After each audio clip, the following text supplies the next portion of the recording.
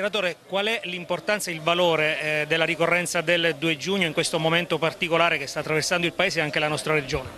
È la festa della Repubblica che consente alla Repubblica di progredire.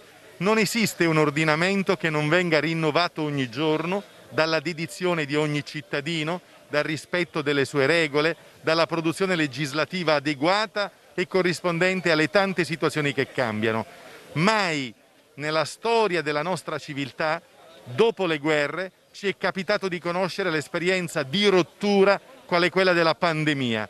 E in questo 2020, come dicono anche gli storici e i filosofi, noi abbiamo conosciuto la periodizzazione in ragione di questo contagio che ha riguardato ogni comunità, superando e scavalcando i confini degli stati. Noi sappiamo che scommettendo, fertilizzando, prodigandosi ad opera di ogni cittadino faremo in modo che la Repubblica possa andare avanti. Ha fatto bene ieri il Presidente Mattarella a richiamare il dovere di ciascuno e hanno sbagliato oggi coloro i quali si sono messi a protestare in una giornata dedicata alla festa e la festa serve per raccogliere le energie e ricominciare. Noi siamo fatti per ricominciare.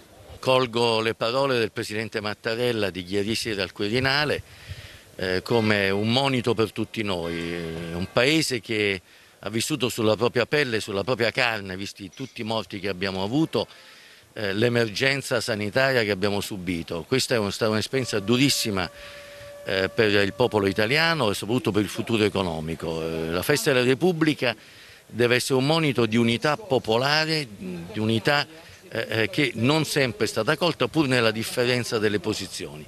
Però noi di Forza Italia siamo convinti che oggi il 2 giugno sia una festa di tutti gli italiani e per noi è simbolico essere in piazza anche se eh, eh tenendo in grande considerazione ovviamente eh, tutte le prescrizioni previste in questa fase 2, cioè quelle del distanziamento sociale e così come la indosso io delle mascherine che è giusto portare anche nella giornata di oggi.